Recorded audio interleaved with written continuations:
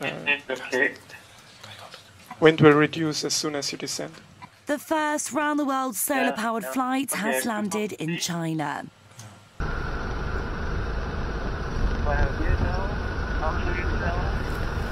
Maybe we can see him and the rest of the MCC. And keep descending. It was the fifth leg of the 22,000 mile journey, which is seeking to demonstrate that flying long distances fueled by renewable energy is possible. Wind is un- below 10 knots.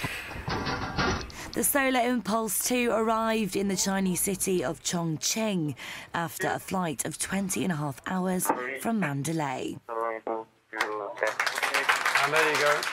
We have landed, Bertrand Piccard has landed the fifth leg of the round the world flight attempt. The next leg will see the plane cross to eastern China before crossing the Pacific Ocean via a stopover in Hawaii.